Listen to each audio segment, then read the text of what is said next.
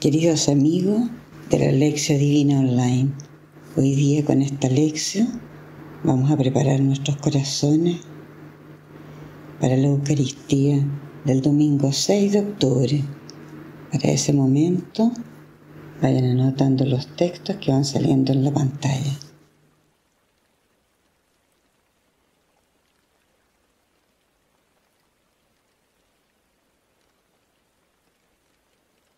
Ahora que ya los anotaron, reciban todos ustedes un cariñoso saludo desde nuestra parroquia Santa María de las Condes en Santiago de Chile, a través de este canal que tiene la parroquia por YouTube. Ahora antes de comenzar, nos ponemos en la presencia del Señor a la escucha de su palabra, su palabra sagrada que penetre en nuestros corazones. Ven Espíritu Divino, abre nuestros oídos, nuestras mentes, nuestros labios, nuestros ojos, para que tu palabra penetre en nuestros corazones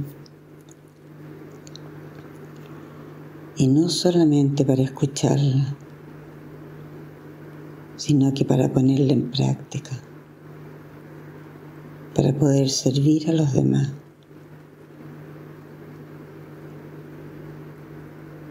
Ven, oh Espíritu Divino, ven, te necesitamos. Todo tu espíritu, nos abrimos a tu espíritu, Señor. Tú eres nuestra guía, nuestro consejero en el camino.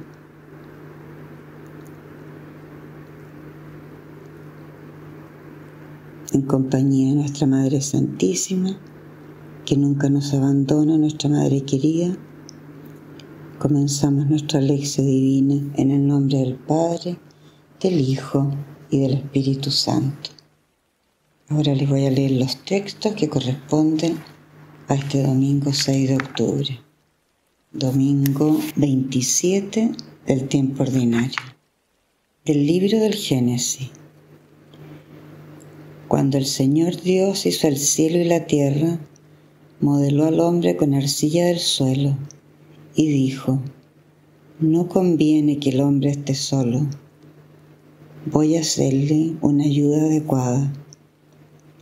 Entonces el Señor Dios modeló con arcilla del suelo a todos los animales del campo y a todos los pájaros del cielo, y los presentó al hombre para ver qué nombre les pondría.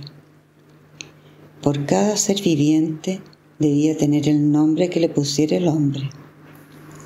El hombre puso un nombre a todos los animales domésticos, a todas las aves del cielo y a todos los animales del campo, pero entre ellos no encontró la ayuda adecuada.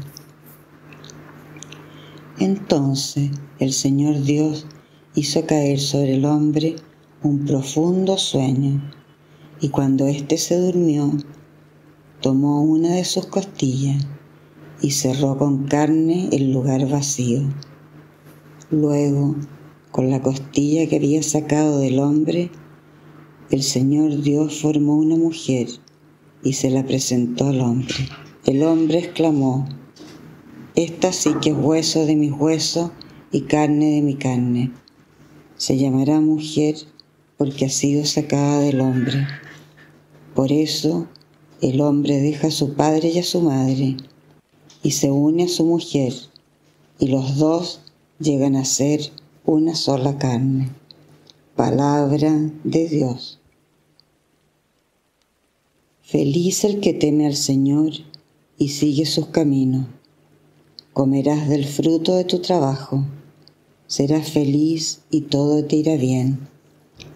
Tu esposa será como una vid fecunda en el seno de tu hogar, tus hijos como retoños de olivo alrededor de tu mesa. Así será bendecido el hombre que teme al Señor. Que el Señor te bendiga desde Sión todos los días de tu vida, que contemples la paz de Jerusalén y veas a los hijos de tus hijos paz a Israel. de la carta a los hebreos. Hermanos, a aquel que fue puesto por poco tiempo debajo de los ángeles, a Jesús, ahora lo vemos coronado de gloria y esplendor a causa de la muerte que padeció.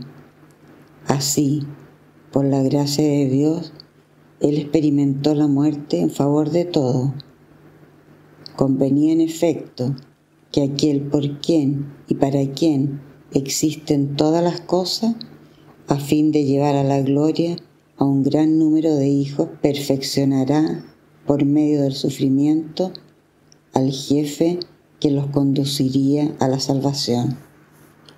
Porque el que santifica y los que son santificados tienen todos un mismo origen. Por eso, Él no se avergüenza de llamarlos hermanos. Palabra de Dios. Evangelio de nuestro Señor Jesucristo según San Marco. Se acercaron a Jesús algunos fariseos y para ponerlo a prueba le plantearon esta cuestión. ¿Es lícito al hombre divorciarse de su mujer? Él les respondió, ¿qué es lo que Moisés les ha ordenado? Ellos dijeron, Moisés permitió redactar una declaración de divorcio y separarse de ella. Entonces Jesús les respondió, si Moisés les dio esta prescripción, fue debido a la dureza del corazón de ustedes. Pero desde el principio de la creación, Dios los hizo varón y mujer. Por eso, el hombre dejará a su padre y a su madre, y los dos no serán sino una sola carne, de manera que ya no son dos, sino una sola carne. Que el hombre no separe lo que Dios ha unido. Cuando regresaron a casa, los discípulos le volvieron a preguntar sobre esto.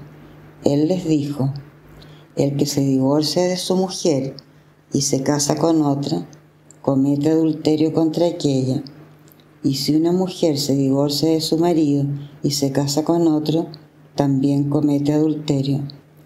Le trajeron entonces a unos niños para que los tocara, pero los discípulos lo reprendieron. Al ver esto, Jesús se enojó y les dijo, dejen que los niños se acerquen a mí y no se lo impidan, porque el reino de Dios pertenece a los que son como ellos. Les aseguro que el que no recibe el reino de Dios como un niño, no entrará en él. Después los abrazó y los bendijo, imponiéndoles las manos. Palabra del Señor. Ahora que ya leímos estas lecturas, las vamos a releer lentamente, muy lentamente, para ver lo que se me dice a mí hoy en estas palabras. Hagamos silencio.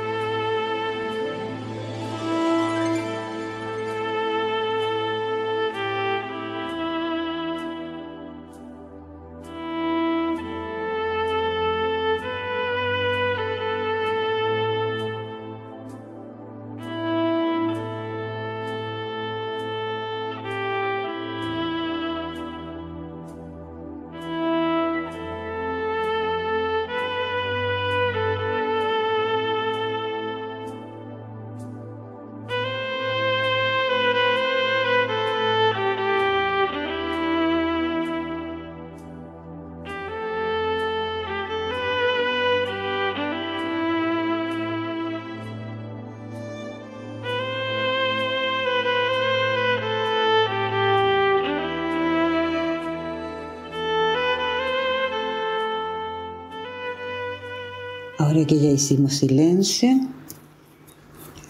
y fuimos viendo lo que el Señor quería para cada uno de nosotros en el día de hoy con su palabra, les comparto lo que más me resonó hoy día. Que el hombre no separe lo que Dios ha unido. ¿Qué se me dice hoy a mí con tu palabra sagrada? Yo no tengo marido, pero sí tengo un esposo, que eres tú, mi amado Jesús. Y tú me dices que este noviazgo que hay entre nosotros, yo lo puedo romper en todo momento, dejando de mirarte y mirando a otros dioses y así cometer adulterio. Puedo separarme de mi iglesia, que es la tuya, de tu vicario, que hoy es nuestro Papa Francisco, y de ti, mi amado esposo, que me has ido recreando poco a poco con tanto amor para llevarme a la unión plena y yo tirar todo este regalo maravilloso al tarro de la basura. Por eso, hoy te pido, con toda humildad, me concedas el don del temor de Dios y así no alejarme nunca de ti y poder permanecer en tu amor. Madre mía Santísima, bajo tu amparo estoy.